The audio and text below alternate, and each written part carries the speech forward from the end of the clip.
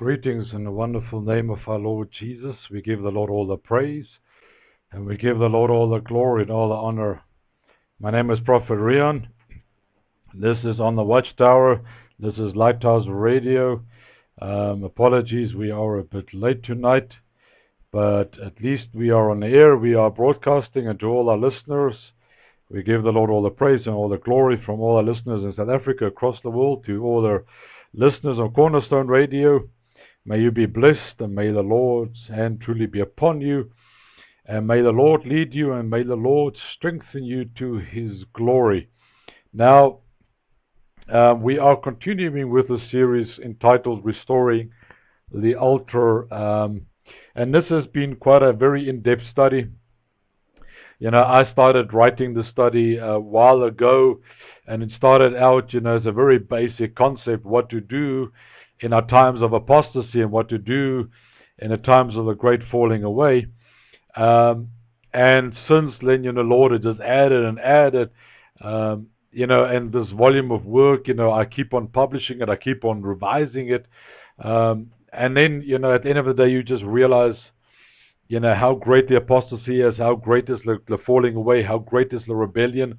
And in the midst of all of this, there is a call to action for us to do something, for us to become discerning, for us to to to to take note of what is happening in our days.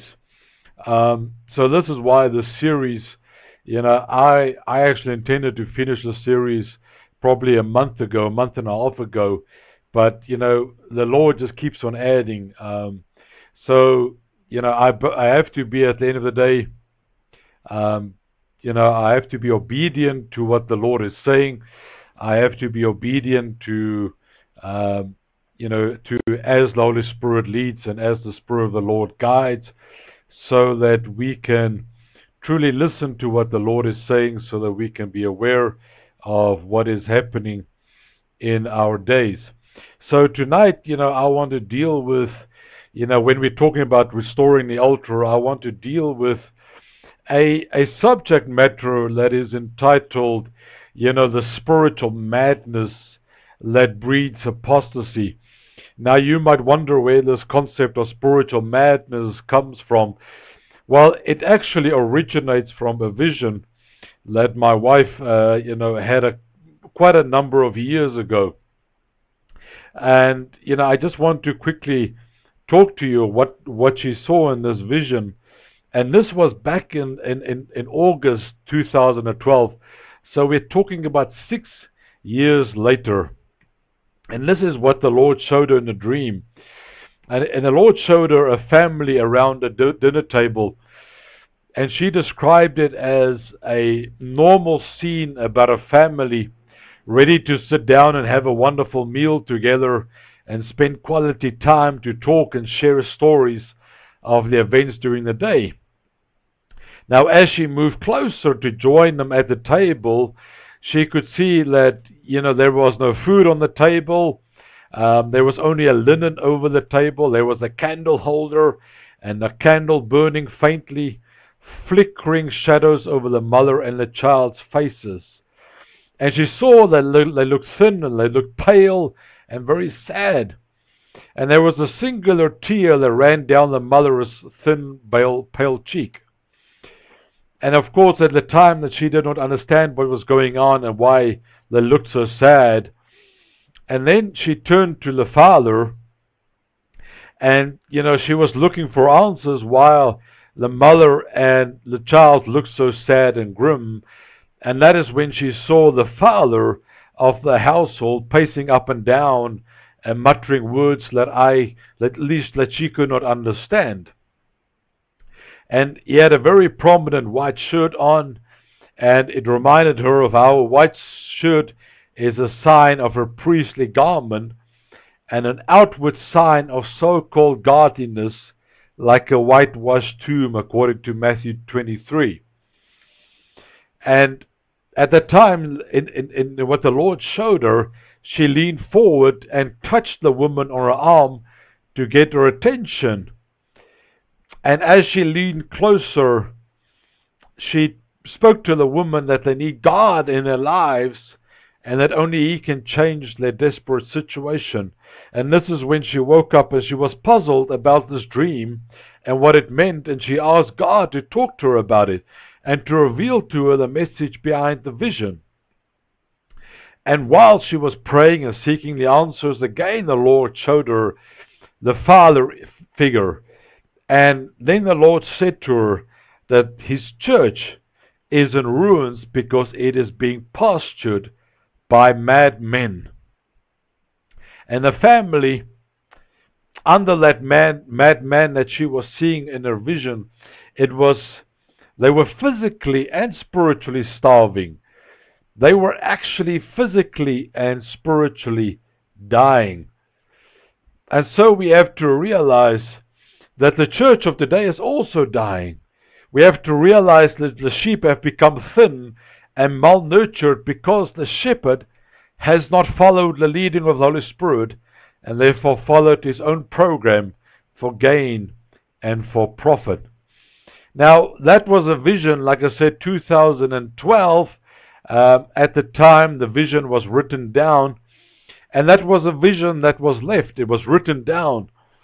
Now, six years later, the Lord has revisited that vision. He has, he has come to, to expound on it, to explain that vision. Certainly in the time, how, what we are living in now.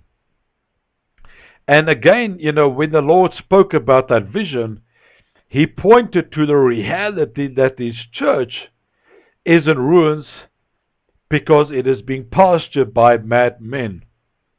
And like I said, you know, this vision has been dormant. And, you know, once the Lord gave a revelation, you know, and, and like I said, you know, with God, everything is about timing. Everything with God, it is the right time at the right moment. And of course, you know, the last, probably last two years, two and a half years, the Lord has really been dealing with apostasy. So it, it, it probably is probably quite understandable that right now is the time for God to explain this vision. Because if he had explained it in, back in 2012, it would not have made sense as what it makes now. And so we need to realize you know, in this time that we are dealing with where the church is falling deeper into apostasy. And so we have to revisit this vision. We have to revisit what God is saying to us. And we have to realize that when we are speaking about mad, it speaks really about not being of a sound mind. A sound mind is therefore, um, you know, a sound mind is or at least a lack of a sound mind comes when we conform to the world. Know, and this is why a sound mind is when we follow the will of God, when we conform to the to, to, to the word of God, when we submit and when we yield and when we are led and when we are transformed by the renewing of our mind, according to Romans 12, so that we may prove what is like what is good and acceptable and the perfect will of God. You know, and if you go and look about the concept of renewing the mind and setting your mind upon God, it is, on, it is also underlined in 1 Peter 1. And I want to read from verse 13. It says, Therefore gird up the loins of your mind and be sober and rest your hope fully upon the grace that is to be brought to you at the revelation of our Lord Jesus Christ. Then it says, As obedient children, not conforming yourselves to the former lust as in your ignorance, but as he who called you is holy, you also be holy in your conduct, because it is written, Be holy, for I am holy. Therefore we shall walk by a sober mind when we focus upon the Lord, meditate upon his word, therefore his truth, and when we seek above all else the Lord. So when we fail to do so, a mind which is not sound therefore undergoes the process of falling into spiritual madness. So spiritual madness, I'm not talking here about psychological disorders. I am talking here of spiritual madness that comes when we do not yield and submit to the will of God, when we do not yield and submit to the wisdom and to the knowledge and the counsel of the Holy Spirit, according to Isaiah 11. So therefore, spiritual madness speaks about spiritual carnality. When our mind is not affixed upon God, when we are not led by the Holy Spirit who knows the mind of the Lord, for the Holy Spirit is God, part of the Trinity. So to maintain a sound mind, we must meditate accordingly to Philippians 4, verse 8, which says, Finally, brethren, whatever things are true and whatever things are noble, whatever things are just, whatever things are pure, whatever things are lovely, whatever things are of good report, if there is any virtue and if there is anything praiseworthy, meditate on these things. Then it says in verse 9, The things which you learned and received and heard and saw in me, these do, and the God of peace will be with you. Now, regarding this vision, specifically the sound mind versus the madness, let us consider what the prophet Hosea said in chapter 9. He says, The days of punishment have come, and the days of recompense have come.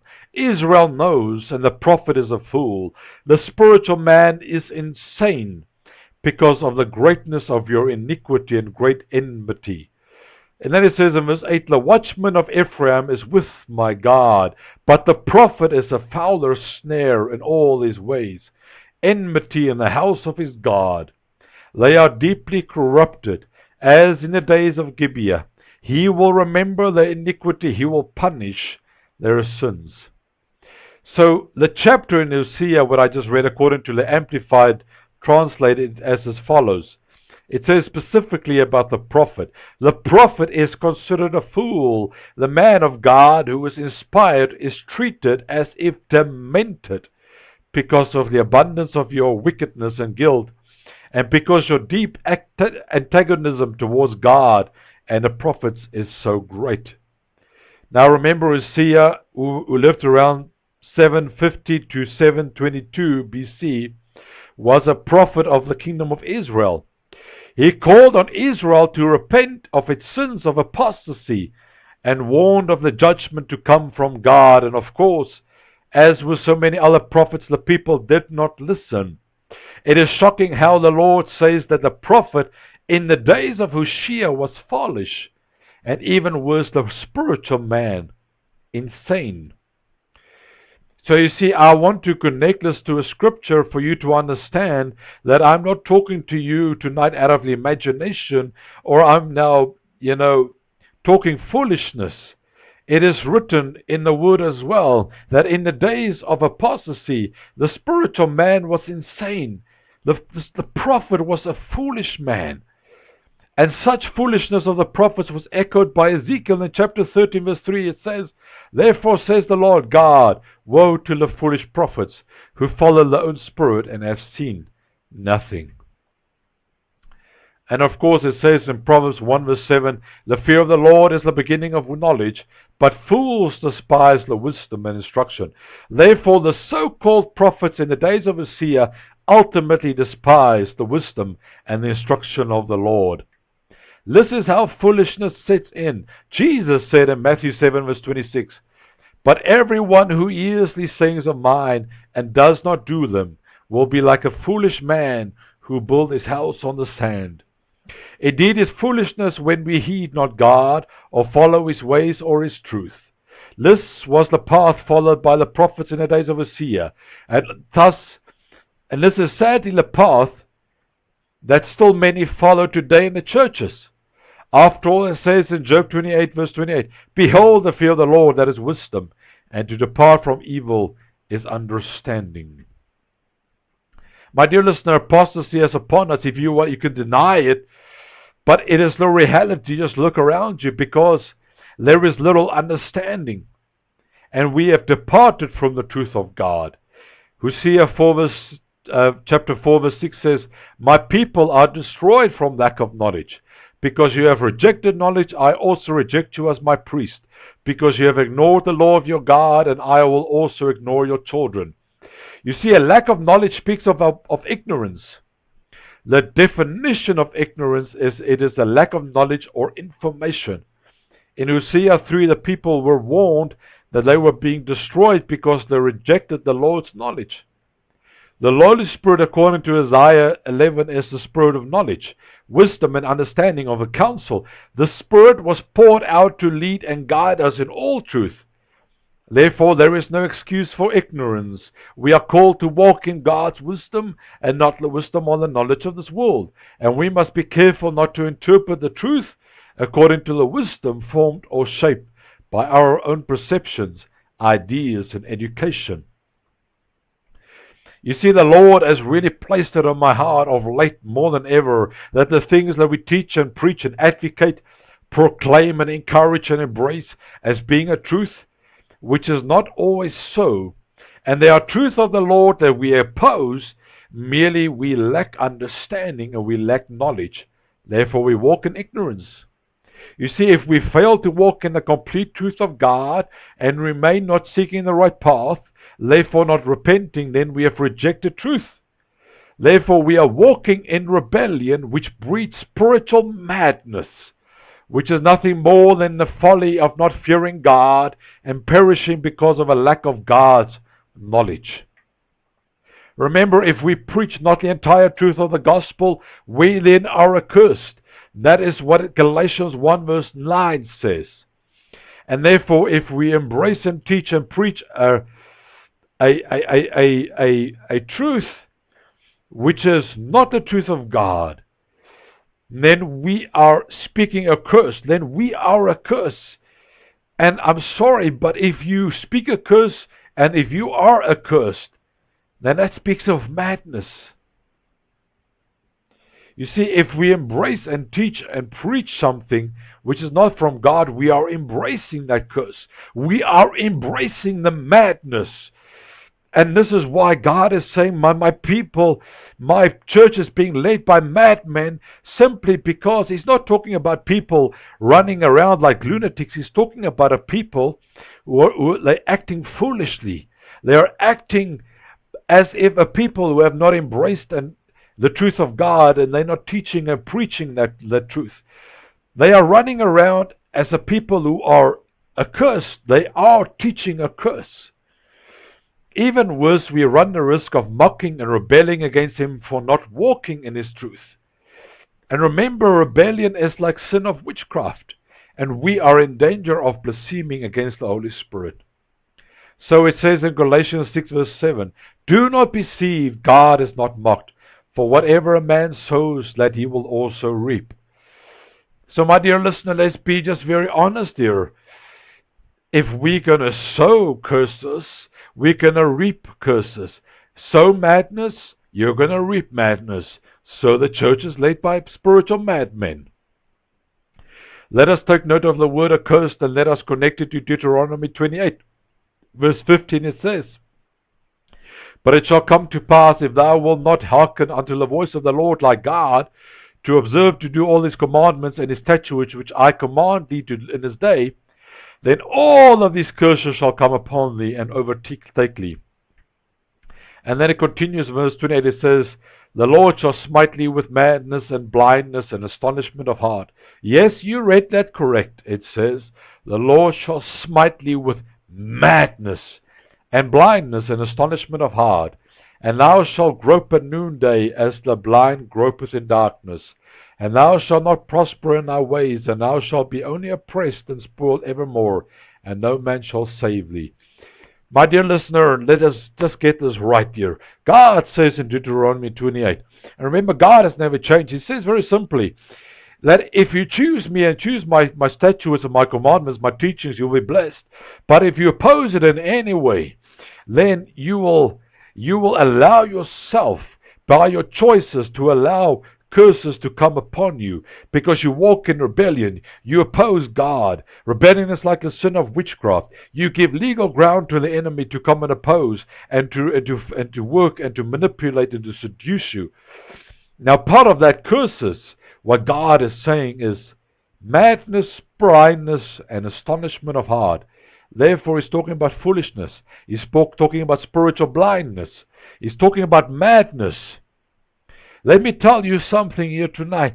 The Apostle Paul, before he became the Apostle Paul, he was called Saul.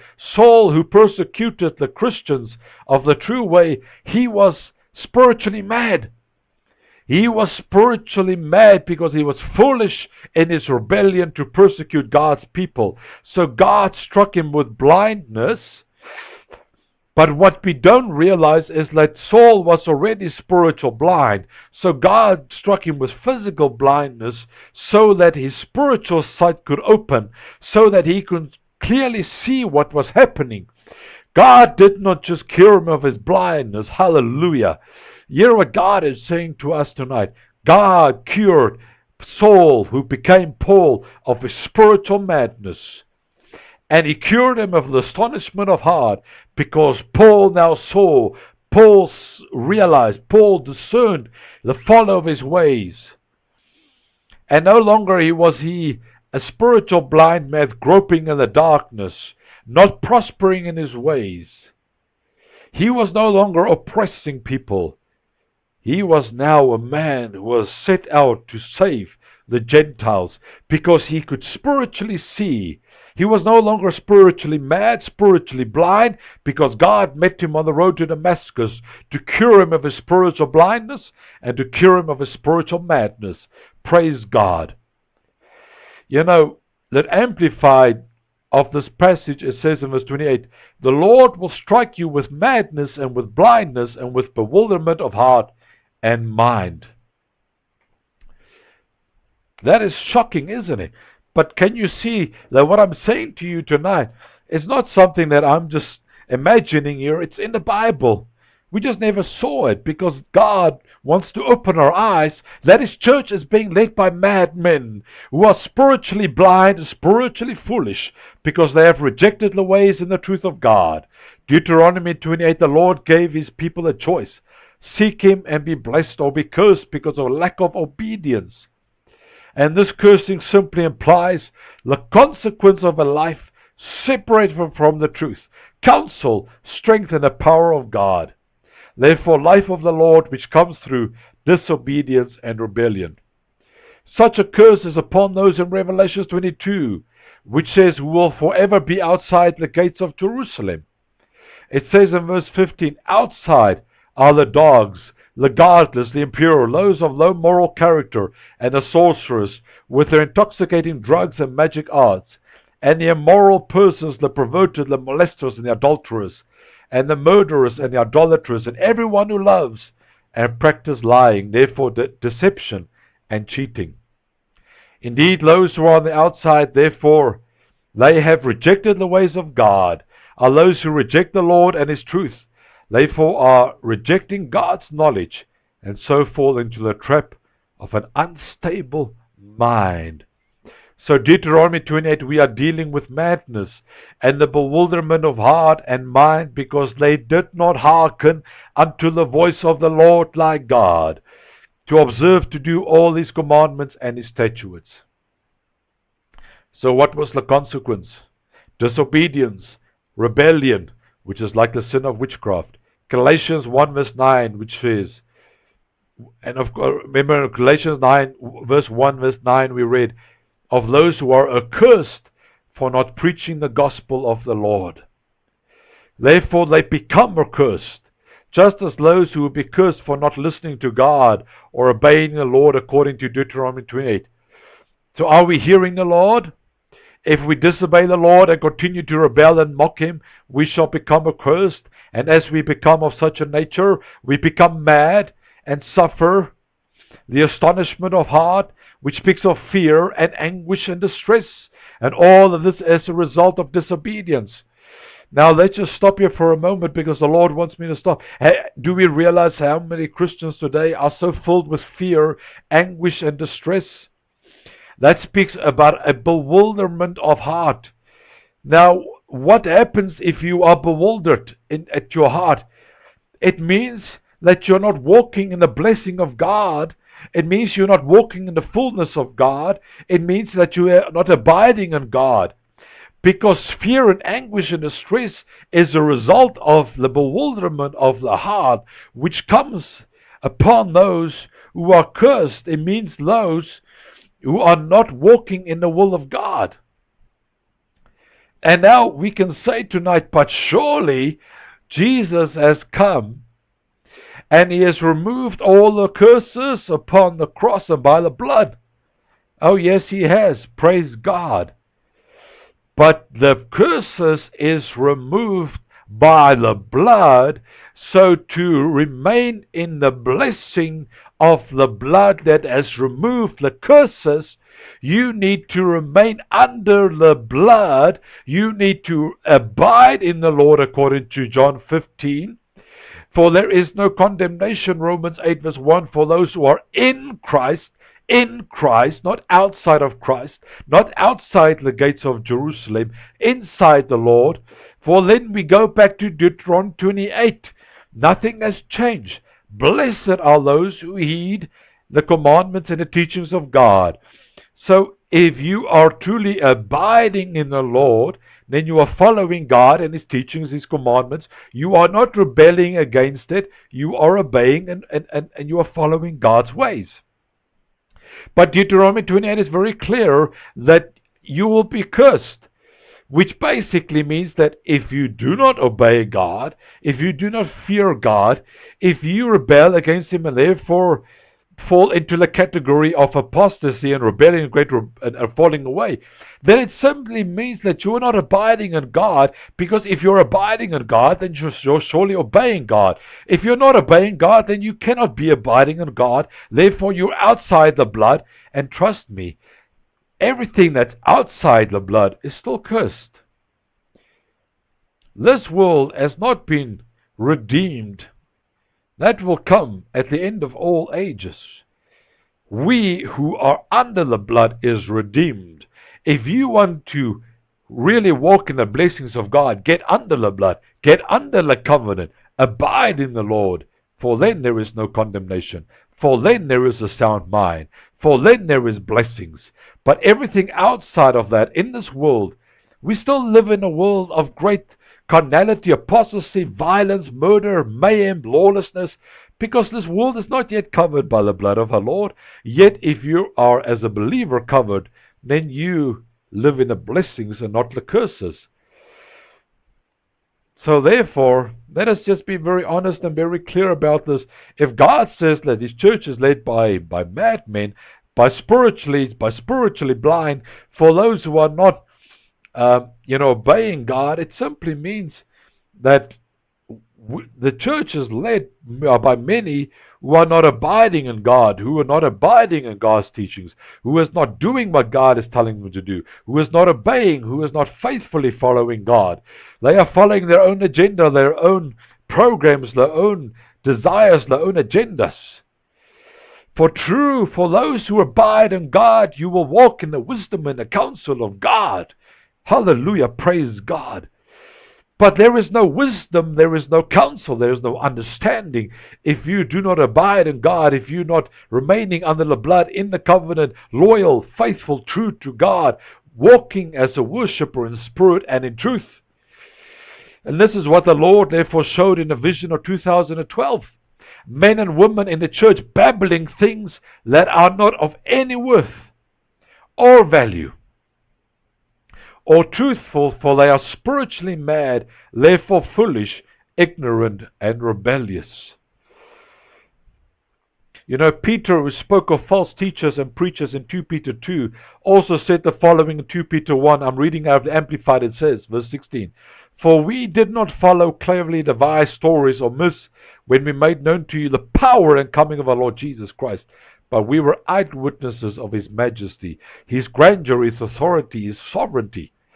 So Peter made it known that the truth they proclaimed was not mere folly or madness, but it was the truth of God. In such a truth is the authority and might of the Lord.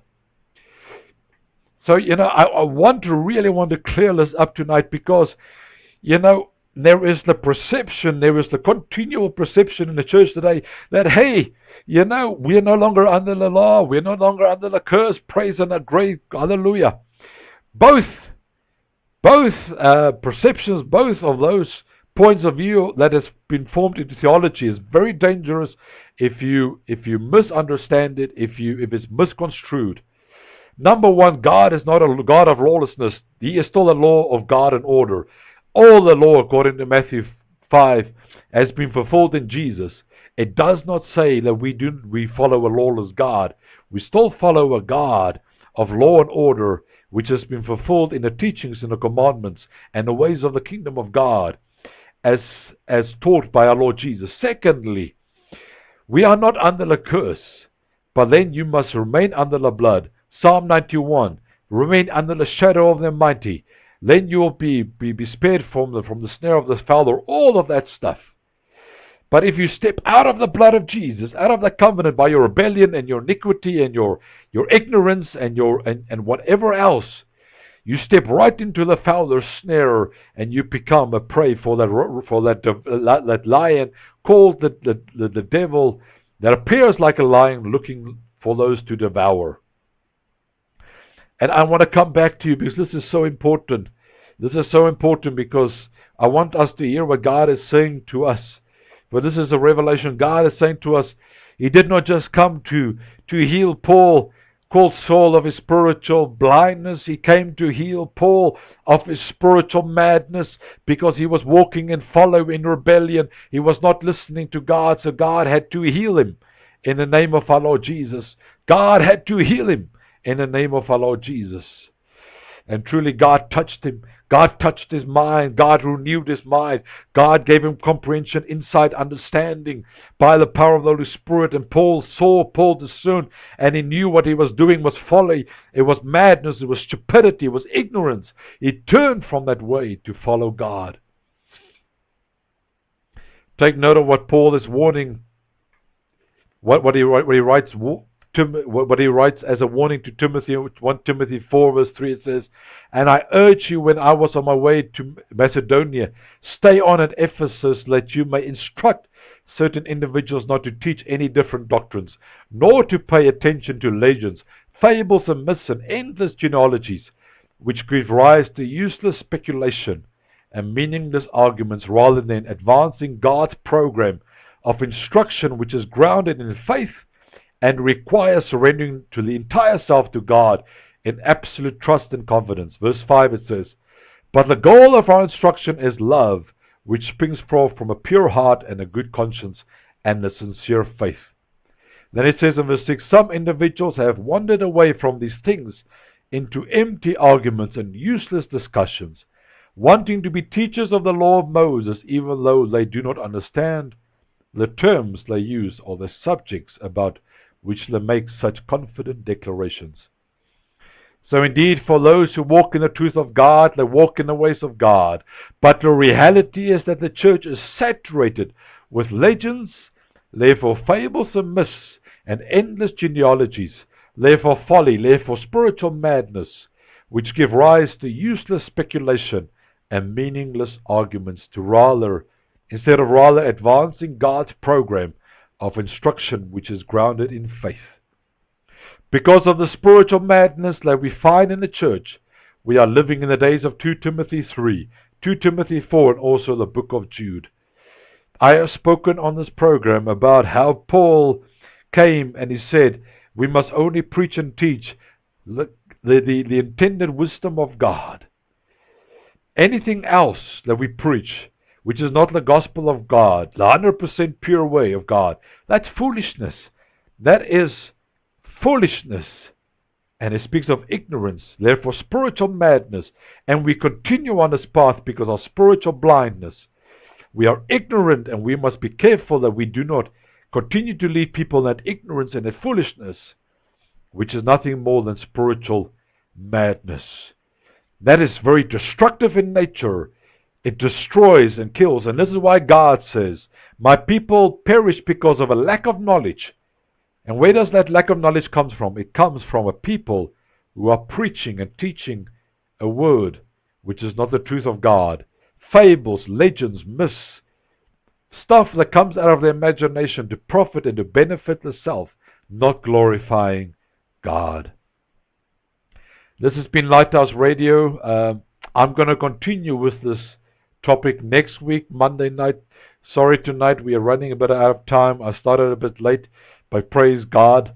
The Lord is sharing with us. The Lord is talking to us. I pray that we will listen to what God is saying to us.